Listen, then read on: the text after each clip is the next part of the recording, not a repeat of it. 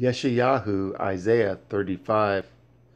The wilderness and the solitary place shall be glad for them, and the desert shall rejoice, and blossom as the rose.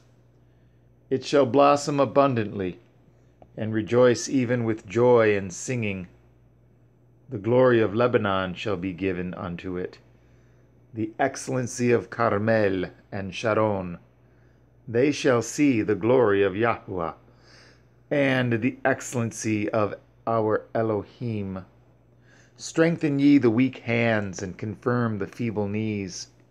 Say to them that are of a fearful heart, Be strong, fear not. Behold, your Elohim will come with vengeance, even Elohim with a recompense. He will come and save you. Then the eyes of the blind shall be opened and the ears of the deaf shall be unstopped. Then shall the lame man leap as a deer, and the tongue of the dumb sing. For in the wilderness shall waters break out, and streams in the desert. And the parched ground shall become a pool, and the thirsty land springs of water.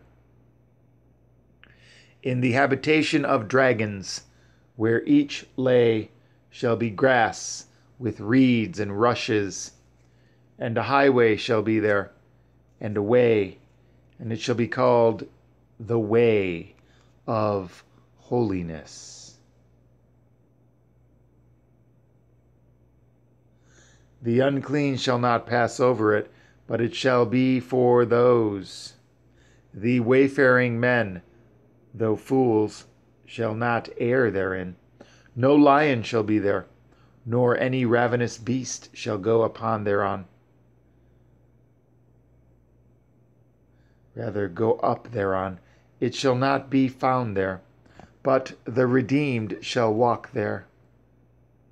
And the ransomed of Yahweh shall return and come to Sion with songs and everlasting joy upon their heads. They shall obtain joy and gladness and sorrow and sighing shall flee away.